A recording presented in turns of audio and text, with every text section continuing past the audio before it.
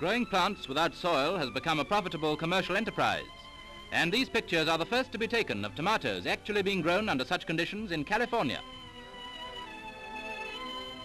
The chemical food for the young shoots is a mixture of nitrogen, potassium, calcium, magnesium, manganese, copper, zinc, phosphorus, sulfur and boron.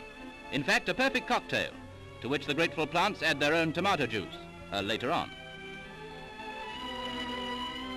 This small bottle contains six months nourishment for about 30 tomato vines. The chemicals filter into the tank through the cork. A thin layer of pine shavings is spread over chicken wire to screen the roots from light. Then seeds or seedlings are planted in the artificial bed and young Tom Ato, like young Tom Bowling, begins to go aloft. The liquid is kept at a temperature of about 50 degrees. Sunshine does the rest.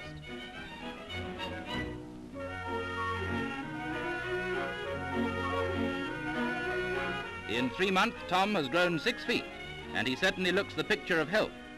The roots are large and abundant, and there's no sign of rickets. Another three months of steady feeding, and he'll be ready for picking.